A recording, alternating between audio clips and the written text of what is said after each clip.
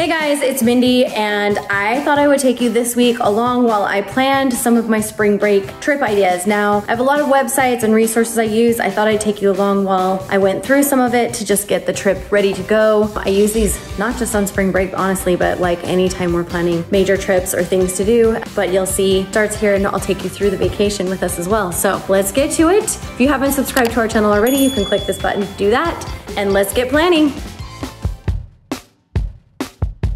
So we were actually just gonna stay home, and then at the last minute decided we all needed a mental health break from the house. So we planned a last minute trip. Paige, are you so excited to go? Galveston? Galveston. We've never been to the island.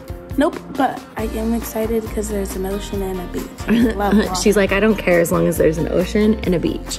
So typically when I'm looking to plan a vacation, I love to use a few sites. Number one, Google Flights. If you haven't already learned how to use Google Flights, it checks every single airline's prices except I think Southwest and gives you the best flight options and you can search by date, which is amazing. Um, second one is Airbnb, which I know I'm sure you guys have all used to find a place to stay locally. The other trick with Airbnb that I do is I also use Vrbo. So when I look, I always check Airbnb, then I go check Vrbo because I find Sometimes the same house is on both sites, but the prices can be cheaper on one or the other. And sometimes like their cleaning fees and stuff are cheaper, so just food for thought, always check both sites. But here's a fun fact about Airbnb you may not know. If you click on, instead of places to stay, you click on experiences right here on Airbnb, then you can type in where you're going. It will bring up a whole list of options of things to do while you're there and give you really great ratings. Another really good one for this is TripAdvisor. So when I'm planning trips, I always check out what Airbnb's experiences suggest, and then I go check out TripAdvisor's list of experiences and what their rating is really high things to do. For this trip, I spotted this paranormal and history excursion that has really good reviews, and all of the reviews on it talked about how awesome it was. I think that one might be fun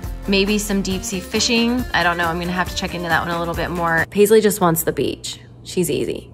One of the things we like to do when we travel to just make it more fun is always ask the kids what's something they want to do and then try to hit those activities. So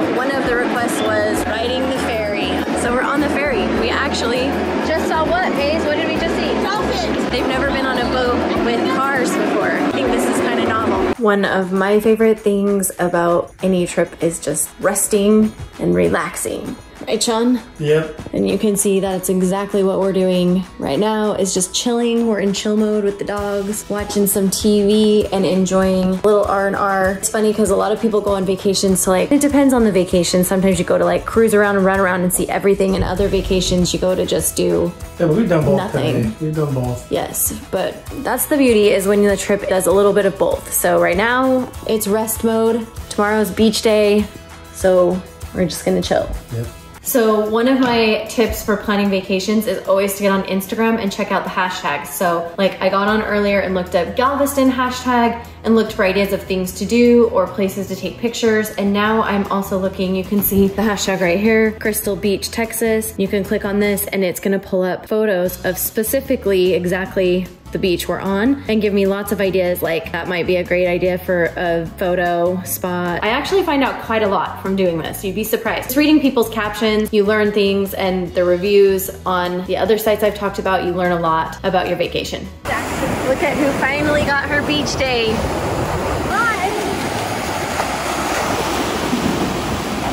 She is crazy.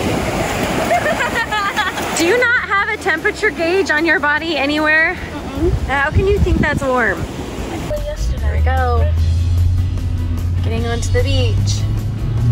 I've only ever driven on the beach twice in my lifetime, and the last time we got stuck. Here's some houses. Water and the beach. Oh, there's a bucket. What do you think? Oh, look at the that trash. sandcastles.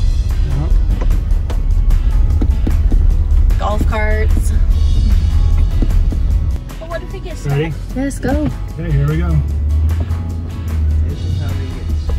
I'm not gonna get This is how we stuck. This is like not even deep. Yeah. Now, now he feels suddenly very manly. What? What does this have to do about that? One of the things we like to do when we are traveling in order to get good food recommendations is ask locals. So we are going to stop at a gas station and ask somebody working there where they like to eat lunch. Also, secondary tip when you're traveling, always plan time for you and your significant other to have alone time. You'll notice that we do not have any of the children with us right now. We are gonna just sneak away for a minute and grab some lunch and just enjoy a few minutes together that's quieter where we can talk about life or all the things without the interference of kids. We get to be us instead of mom and dad. Are you local? You're local here? I am. So you're local? Is there, what are good places to eat that are open? Like for lunch, is there a good place to eat around here? All right, we got a couple recommendations for Rita's and Cream. We actually got several recommendations, but a bunch of them weren't open today. So we are gonna try Rita is not the lady's name. It's short for margarita. So margaritas and, and, cream. cream is ice cream. yeah, so we don't But they do serve burgers, fries. chicken wings, so we're gonna go try some of this. Sounds good. And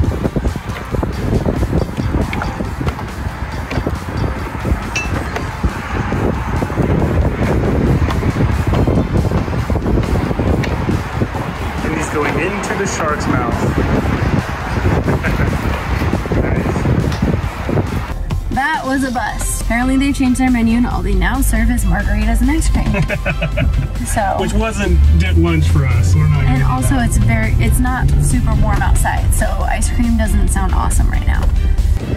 Okay, we're trying a food truck, but it says it's the home of the Bad A Burger. So we're gonna try that Bad A Burger. I'm making Sean wait for the food. That wind is so cold on my bare legs. I'm like, oh, it's too cold for me out there. Sean got the Philly cheesesteak that he said it was excellent and beer battered fries. There you go, we're gonna try them.